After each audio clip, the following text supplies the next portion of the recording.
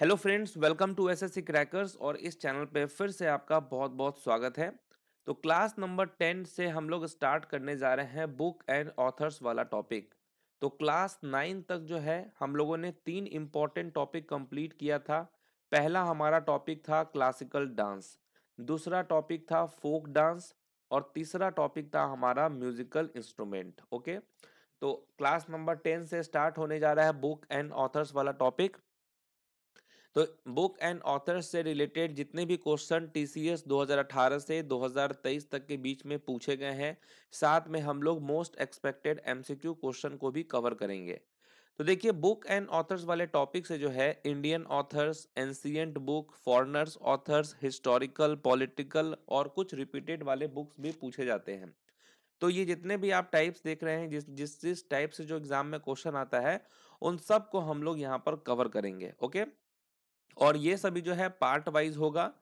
तो देखिए, जो हमारा बुक एंड ऑथर्स वाला टॉपिक है, इसको हम लोग चार पार्ट में कवर करने वाले हैं और इसके लिए दो दिन का टाइम लगेगा। तो यानी कि दो दिन में हम लोग ये चार पार्ट को कवर करेंगे और जितने भी मैंने आपको यहाँ बताए ancient book historical book foreigners जो फॉरनर्स ऑथर्स होते हैं वो इंडियन ऑथर्स पॉलिटिकल ये सारे टाइप्स जो है हम लोग इस पार्ट फोर तक में जो है कवर कर लेंगे। और इसके लिए दो दिन का टाइम लगेगा। और जब ये कंप्लीट हो जाएगा हमारा टॉपिक तो जो नेक्स्ट टॉपिक होगा, वो होगा ऑटोबायोग्राफीज का। तो इससे भी रिलेटेड जो है एग्ज़ाम में जितने भी क्वेश्चन पूछे गए हैं, साथ में एक्सपेक्टेड एमसीक्यू, ये हमारा नेक्स्ट टॉपिक रहेगा, एक बार बुक एंड ऑथर्स कंप्लीट हो जाएगा तो।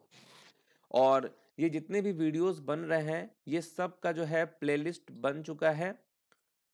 तो कोई भी अगर क्लास आपका मिस हो रहा है तो प्लेलिस्ट से जो है आप लोग कवर कर लेंगे। तो चलिए स्टार्ट करते हैं फ़र्स्ट क्वेश्चन के साथ। तो पहला क्वेश्चन है आप लोगों के स्क्रीन पर कि who is the author of the book anomalies in law and justice तो anomalies in law and justice पुस्तक के लेखक कौन है? तो देखिए, ये जो है फॉर्मर सुप्रीम कोर्ट के जज थे, जिनका नाम है आर वी रविंद्रन जो है, ये है इस बुक के author, anomalies in law and justice के। ओके इंपॉर्टेंट किताब है, एग्ज़ाम में ये क्वेश्चन पूछा गया था। और इस बार जो है, आप देख रहे होंगे, नए प्रेजेंटेशन के साथ जो है, ये क्लास लिया जा रहा है। तो ये जो है, यहाँ पर जो आप फिगर देख रहे हैं, ये कौन है? तो ये मैं हूँ। फील करना है कि रोशन सर हैं ये। और ये बोर्ड पे आपको पढ़ा रहे हैं, क्वेश्चन दे रहे हैं। और आपको आंसर देते रहना है। तो कैसा लगा ये वाला आपको फॉन्ट? तो आप कमेंट करके ज़रूर बताएँगे। चलिए, नेक्स्ट हमारा क्वेश्चन है कि Godan a famous novel was authored by dash. तो गोदान एक प्रसिद्ध उपन्यास है और ये किसके द्वारा लिखा गया था? तो ये बहुत ही इंपॉर्टेंट क्वेश्चन है और ये रिपीटेड टाइप वाले बुक है। ये सब जो क्वेश्चन है, ये रिपीटेड वाले बुक्स हैं जो कि आपको किसी ना किसी एग्ज़ाम में देखने को मिल जाता है। और इसके ऑथर का नाम क्या है? मुंशी प्रेमचंद है, okay? Munshi Premchand. Next question है कि who is the author of half girlfriend and one Indian girl तो एक और इंपॉर्टेंट बुक है जिसका नाम है half girlfriend and one Indian girl और इसके ऑथर का क्या नाम है? तो राइट आंसर होगा यहाँ पर चेतन भगत। चेतन भगत से रिलेटेड एग्ज़ाम में क्वेश्चन बहुत आते हैं। थ्री मिस्टेक्स, टू स्टेजेस, ये half girlfriend and one Indian girl हो गया। रिवॉल्यूशन 2020 इस टाइप के बुक जो है वो किससे रिलेटेड होता है? चेतन भगत से। नेक्स्ट क्वेश्चन है कि who among the following was the author of Buddha Charitra? तो बुद्ध चरित्र के पुस्तक के लेखक कौन है? ये भी एक तरह से समझिए कि रिपीटेड वाले बुक्स हैं। क्योंकि ये आपको हर एग्ज़ाम में देखने को मिल जाता है। तो राइट आंसर क्या होगा? अश्व घोष होगा यहाँ पर राइट आंसर। नेक्स्ट हमारा क्वेश्चन है, poverty and un British rule in India. इस बुक के ऑथर का क्या नाम है? क्वेश्चन नंबर फाइव आप लोगों के लिए है। बहुत ही इजी क्वेश्चन है तो इसका आंसर भी सबको आता होगा कि राइट आंसर यहाँ पर क्या होगा? दादा भाई नैरोजी होगा correct answer grand old man of India भी कहा जाता है दादा भाई नैरोजी को। नेक्स्ट क्वेश्चन नंबर सिक्स में है कि कदाम्बरी इस बुक के ऑथर का क्या नाम है? कदाम्बरी के ऑथर का क्या नाम है? तो ये भी एक तरह से आप लोगों के लिए बहुत इजी क्वेश्चन रहेगा। कदाम्बरी और राइट आंसर होगा यहाँ पर Ban Bhatt okay Banbhatt next question है कि which of the following authors has written the famous novel Gulliver's travels okay तो इस जो, ये जो नॉवल है गुलिवर्स ट्रेवल्स इसके ऑथर का क्या नाम है? ये सब अभी जो, ये जो क्वेश्चन आप देख रहे हैं, ये रिसेंट एग्ज़ाम में पूछा गया था दिल्ली पुलिस 2020 23 का जो एग्ज़ाम हुआ था उसमें यह क्वेश्चन पूछा था गुलिवर्स ट्रेवल्स के ऑथर का क्या नाम है? तो राइट आंसर यहाँ पर क्या हो जाएगा? जोनाथन स्विफ्ट होगा राइट आंसर। तो जोनाथन स्विफ्ट ही जो है, वो ऑथर है किस नॉवल के? तो गुलिवर्स ट्रेवल्स के। नेक्स्ट क्वेश्चन है कि who was the author of Raag Darbari? Raag दरबारी, ये जो बुक है, इसके ऑथर का क्या नाम है? क्वेश्चन नंबर एट का राइट right आंसर क्या होगा? तो राग दरबारी के ऑथर का नाम है श्रीलाल शुक्ला, ओके? श्रीलाल शुक्ला जो है, ये कौन है? ये है राग दरबारी के ऑथर। नेक्स्ट है question number nine. Who authored untouchable depicting the caste system तो कौन है इस बुक के author untouchable depicting the caste system के? तो यहाँ पर राइट right आंसर क्या होगा? मुल्क राज आनंद हो जाएगा राइट आंसर ये सभी क्वेश्चन को जो है आपको एकदम याद कर लेना है और ये जितने भी आपको पार्ट वाइज कराए जा रहे हैं बुक एंड ऑथर्स उस ये पूरा अगर आप याद कर लेते हो तो डेफिनेटली क्वेश्चन आपको यहीं से देखने को मिलेगा। ओके तो इसीलिए सारे इंपॉर्टेंट क्वेश्चन है, इसका सेपरेट नोट्स आप एकदम बनाते चलिए। नेक्स्ट क्वेश्चन है, किताब उल हिंद के ऑथर का क्या नाम है? ये भी इंपॉर्टेंट बुक है। तो देखिए, यहाँ पर क्वेश्चन आपसे पूछा जा रहा है कि कौन है ऑथर किताब उल हिंद के? और इसका राइट आंसर क्या होगा? अल बिरूनी होगा यहाँ पे right answer, okay? Al Biruni. Next question है कि the English novel heart of darkness was written by which of the following authors? तो ये जो नॉवल है और ये इंग्लिश नॉवल है और इसका नाम है हर्ट ऑफ़ डार्कनेस और इसके ऑथर का क्या नाम है? तो राइट आंसर हो जाएगा जोसेफ कॉनरड यहाँ पर राइट आंसर हो जाएगा। Okay Joseph Conrad next question है माई म्यूज़िक माई लाइफ इस बुक के ऑथर का क्या नाम है? और ये फ़ेमस सितार वादक हैं। अब देखिए, हम लोगों का जो टॉपिक था लास्ट टॉपिक जो इससे पहले हम लोगों ने कवर किया था, वो था म्यूजिकल इंस्ट्रूमेंट रिलेटेड म्यूजिशियन अब वहाँ पर मैंने आपको बताया था कि कौन, अगर आपको अच्छे से याद होगा तो आपको मालूम होगा कि सितार प्लेयर कौन है। यहाँ हिंट्स भी दे दिया है कि माई लाइफ माई म्यूज़िक, ये जिसकी बुक है वो एक सितार प्लेयर है। और यहाँ अगर आप देखेंगे राम नारायण तो राम नारायण जो है ये क्या बजाते हैं? सारंगी बजाते हैं। जाकिर हुसैन तो आप जानते हैं कि तबला बजाते हैं। हरि प्रसाद चौरसिया जो है, ये फ्लूट बजाते हैं, बांसुरी बजाते हैं। तो रिमेनिंग कौन बच गए? रविशंकर। तो यही जो है, सितार वादक हैं। और इन्हीं की ये बुक है my life my my music my life next question है कि my times and autobiography is authored by whom तो किसकी ये बुक है माई टाइम्स एंड ऑटोबायोग्राफी ये किसके द्वारा लिखी गई है?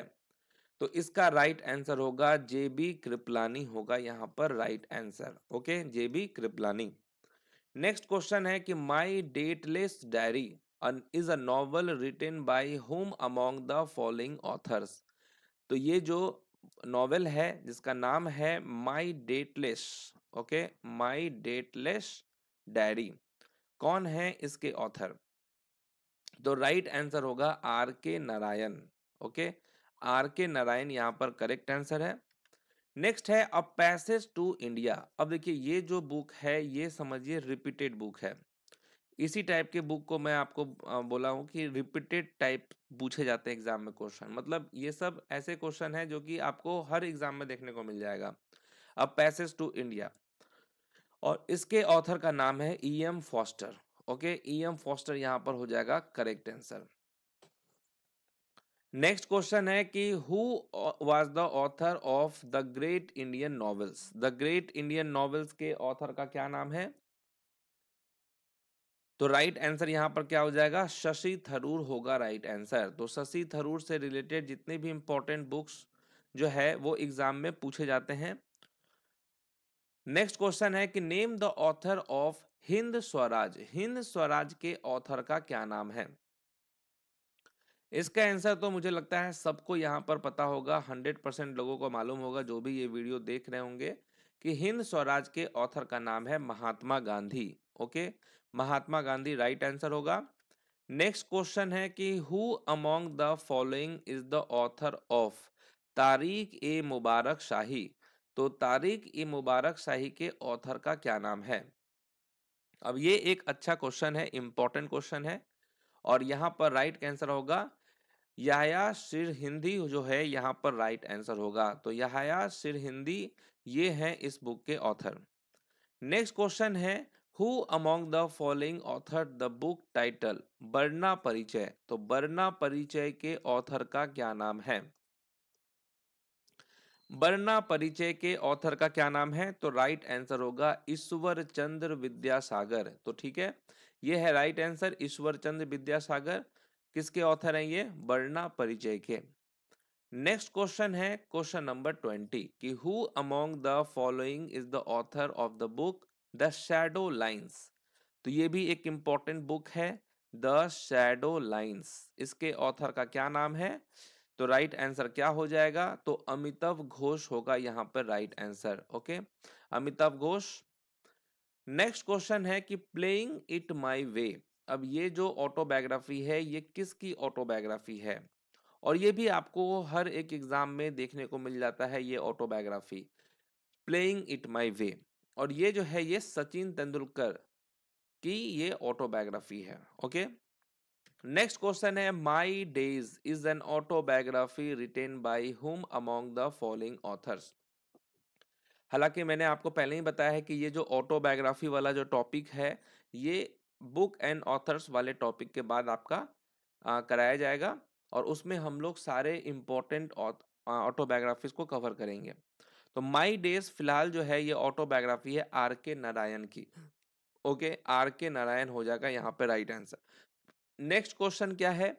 कि who among the following is the author of the book overdraft saving the Indian saver?